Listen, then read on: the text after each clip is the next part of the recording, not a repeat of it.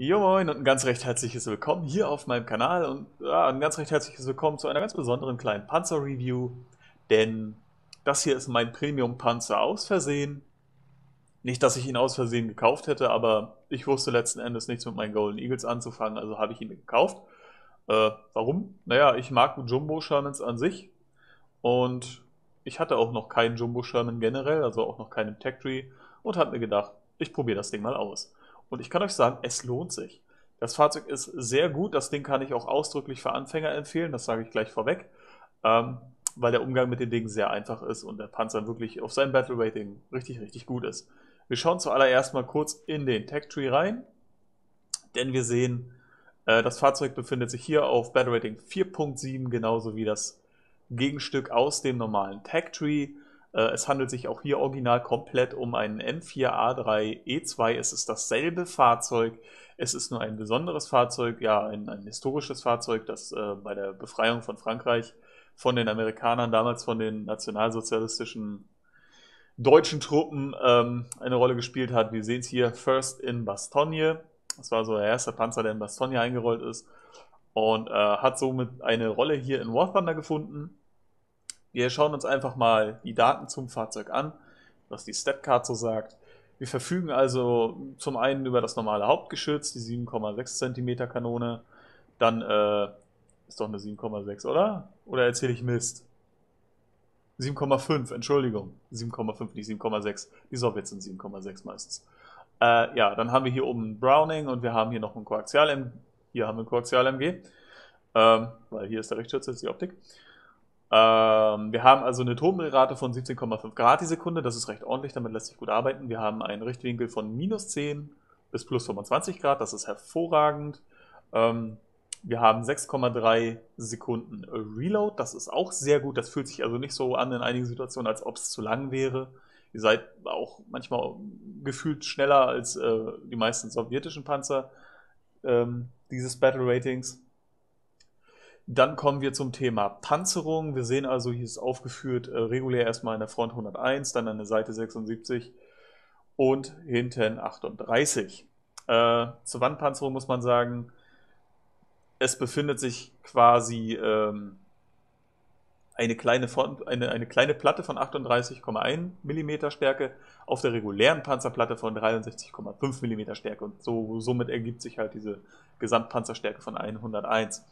Ähm, in den Seiten haben wir äh, und auch hinten einzelne reguläre Platten mit besagten Stärken von 76 und 38.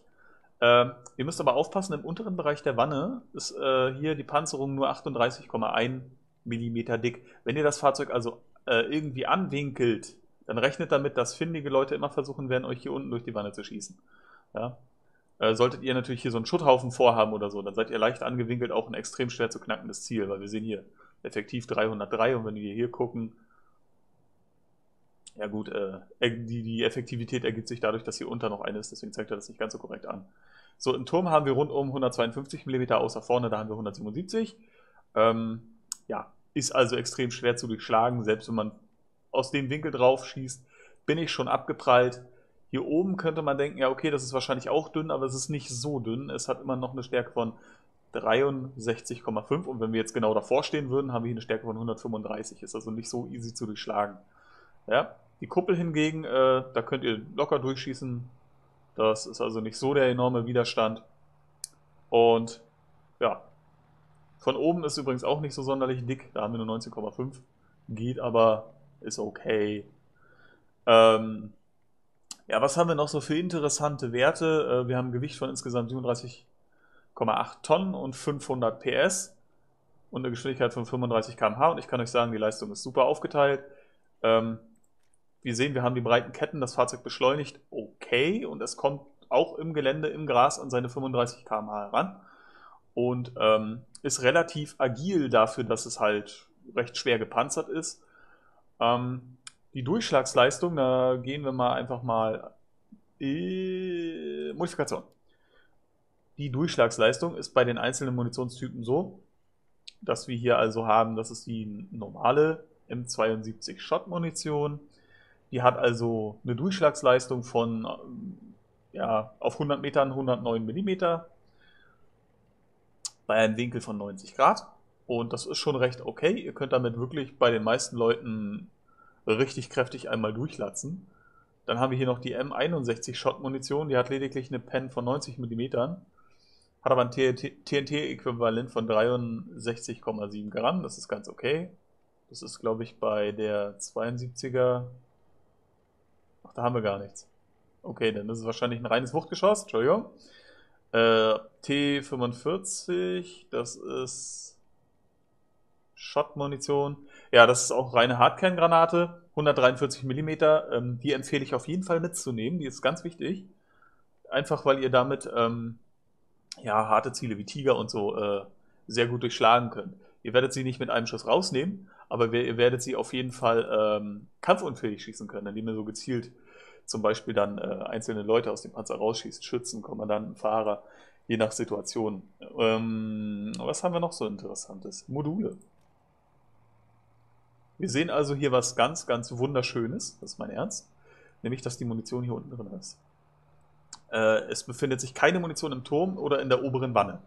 Das macht es also extrem schwer, diesen Panzer äh, ja, zu ammo-racken, also hier unten reinzuschießen und dann, dass das ganze Panzer hochgeht.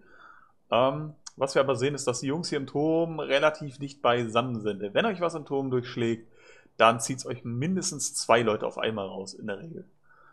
Ähm, ja, was wir hinten sehen, ist weniger, ist weniger geil. Wir haben hier die Tanks, äh, den Motor und den Kühler. Das Ganze ist relativ dicht beisammen. Ähm, wenn ihr in die Luft fliegt und euch einer ins Heck schießt, äh, so, das ist ziemlich das, was am häufigsten passiert. Was ist das hier? Achso, die Funkausrüstung, das ist nicht ganz so wichtig. Ja, äh, so viel erstmal zur Theorie. Ähm, ich habe ein nettes Replay vorbereitet, was ich hierfür aufgenommen habe und das werden wir uns jetzt mal anschauen. Ja, und da sind wir auch schon auf der Karte Novosirsk. No no Novosirsk oder wie sich das nennt. Äh, eine Karte, die also relativ selten ist. Ja, ähm, lasst euch nicht davon irritieren, dass meine Verbündeten hier rot angezeigt werden und das rote auch wirklich unser Ticket-Counter ist. Blau der Feind ist. Äh, eigentlich habe ich das anders eingestellt, aber es taucht im Replay einfach nur so auf. Keine Ahnung, das muss wahrscheinlich irgendwas mit dem letzten Patch zu tun haben. Ähm, naja gut, was wir hier sehen ist, ähm, dass der Panzer eigentlich für genau diese Art von Kampf hier gemacht ist. Er ist also hervorragend für den Häuserkampf geeignet. Und als allererstes, ja, bringen wir uns in, in Stellung. Ich gucke hier so ein bisschen rum. Äh, nebenbei bin ich mit dem Auge auf der Karte, so welchen Weg ich denn wohl fahre. Und ja, der Panzer, wie man sieht, ist relativ mobil, dafür, dass er äh, recht schwer ist. Trotz, dass ich hier viel umherlenke, bin ich relativ gut unterwegs. Oben links sehen wir ja die kmh. Ähm, da gibt es einige, die da schlechter performen. Sowohl in Sachen Beschleunigung als auch von der Geschwindigkeit her. Ähm, ja. Und jetzt warten wir einfach mal ab, bis sich so das Ganze hier langsam entwickelt.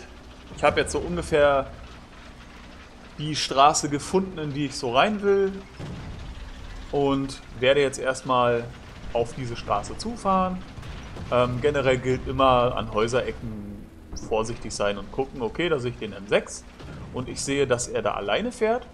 Ich habe beschlossen, den, äh, den M6 zu unterstützen und bin jetzt hinter ihm, hinter ihm hergefahren das ist auch etwas, was ihr mit dem, äh, mit dem Panzer hier sehr gut machen könnt. Andere Fahrzeuge unterstützen, weil ihr Panzerung habt. Ihr könnt andere Fahrzeuge ähm, quasi immer so ein bisschen shielden. Ihr habt mehr Panzerung. Und zum Beispiel der Kollege mit dem M10, der fährt mir jetzt hinterher. Weil er ganz genau weiß, äh, okay, er hat mehr Panzerung. Falls da was kommt, dann fängt er das auf jeden Fall ab. Und jetzt bin ich auf dem Weg zum M10. Ich sehe der M10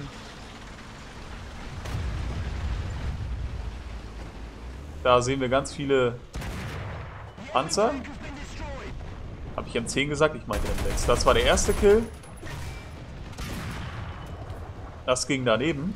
Da weiß ich nicht, wo das hinging. Jetzt seht ihr, ich winkel meine Panzerung ein bisschen an. Und jetzt habe ich da nichts mehr gesehen, weil der M6, nicht M10, wie ich vorher sagte, sich das Fahrzeug geholt hat. Und er rückt jetzt weiter vor. Ich gucke hier mal so runter. Da war ein Ziel, auf das ich sogar hätte wirken können, aber das habe ich irgendwie nicht gesehen. Ich fahre dann weiter und ich habe überlegt, ob ich zurück an diese Ecke fahre und habe dann gesehen, okay, die beziehen Darstellung. Und hier ist so ein Zwischenweg. An diesem Punkt hätte es komplett sein können, dass da Gegnerfahrzeuge durchkommen. Hab hier also geguckt. Ich habe gesehen, okay, er deckt da. Der, der M10 deckt die Seite. Der M6 steht da vorne. Also habe ich beschlossen, kurz einfach hier stehen zu bleiben für den Fall, dass tatsächlich sich doch einer durch die Häuser durchschlecken würde. Mit einem besonders kleinen Panzer kann das funktionieren. Und ich behalte aber so ein bisschen meinen Blick so, dass ich nach vorne fahre. An dem Punkt habe ich beschlossen, okay, da wird wahrscheinlich nichts kommen. Ich schaue nach vorne. Der Kollege guckt nach links, ich gucke nach vorne.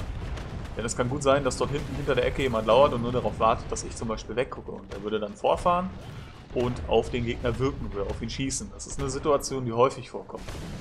Weil viele Gegner einfach darauf warten, dass du einen Fehler machst. So, er fährt da rein. Ich habe gesehen, da sind einige von uns. Also pushe ich weiter. Ich habe beschlossen, ich guck mal, ob ich Feinde finde. Ich schiebe so ein bisschen voran, da habe ich rechts den Schuss gesehen. Okay, da weiß ich, da muss ein Feindpanzer sein.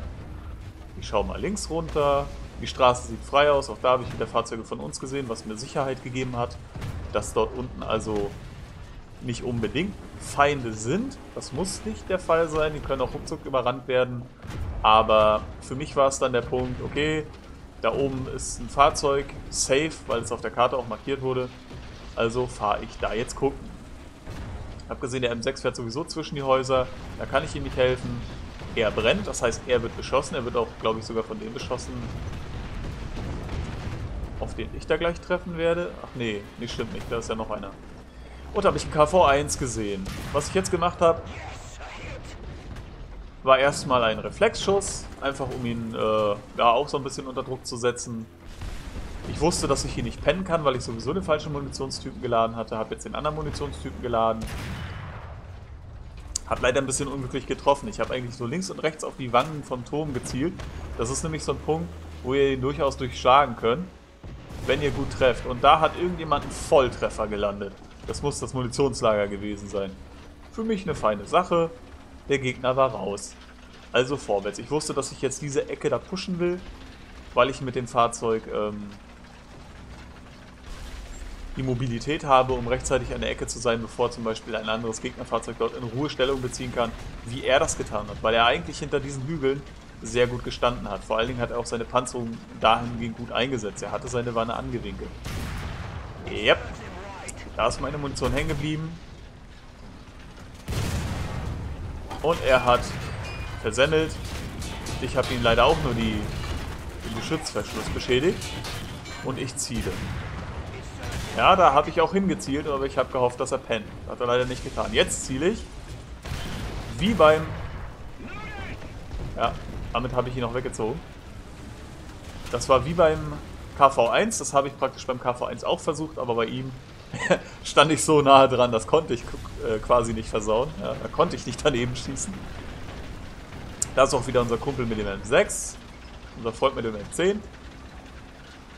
So, jetzt haben wir nachgeladen und wir sehen hier... Oh! Wo willst du denn hin, Kollege?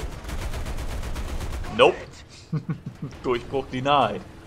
Und ja, nach diesem kleinen Kill war ich ein bisschen erfreut über die Anzahl von Kills, die ich bisher, bisher hier auch hatte.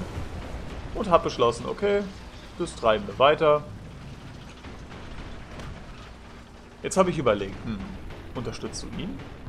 Ich habe an diesem Punkt wirklich erstmal gewartet, wie weit er fährt und ob er beschossen wird. Aber dann hat sich da jemand bei mir gemeldet? Ah. Daneben. Oh, Bombe. Da fahren wir besser nicht hin. Dann unten. Aber doch oben. Das war ein Fehler. Den Schuss habe ich klar versemmelt. Ich hätte den, den Panzer an der Stelle schon töten können.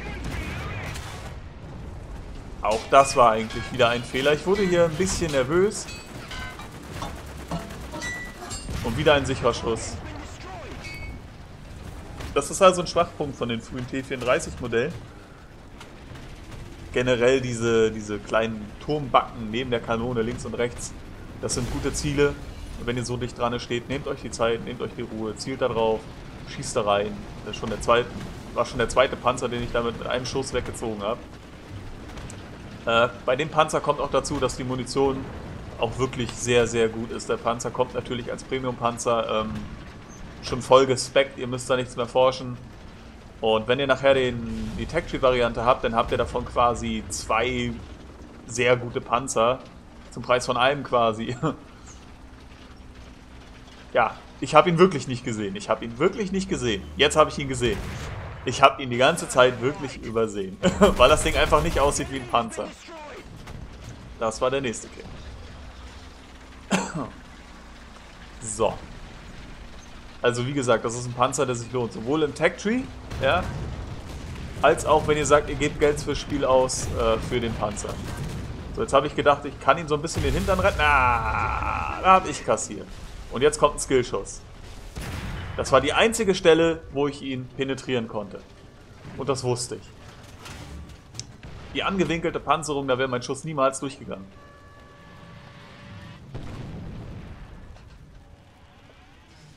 Tja, jetzt stand ich hier. Reparieren. Ich hatte also erstmal ein bisschen Zeit, mir so ein bisschen Überblick über die Karte zu verschaffen. Und ja, erstmal passiert nicht viel, außer dass ich den Panzer repariere.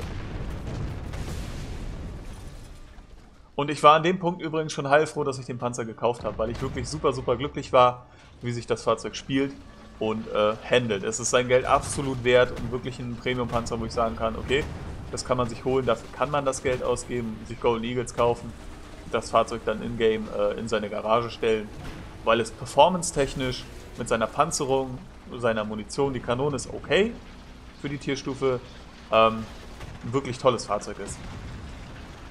Und ja, wir sind jetzt hier so ein bisschen schon bei, äh, den Spawn zu campen.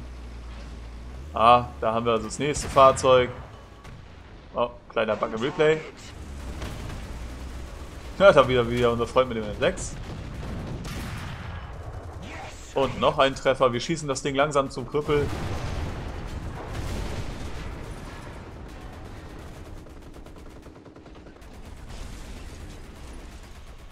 Und jetzt warten wir einfach darauf, dass die nächsten Leute spawnen.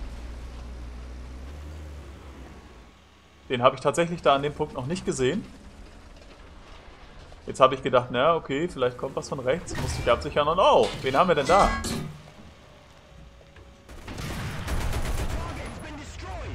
Zuallererst mal das Flakfahrzeug ausgeschaltet und dann den Panzer aufs Korn genommen.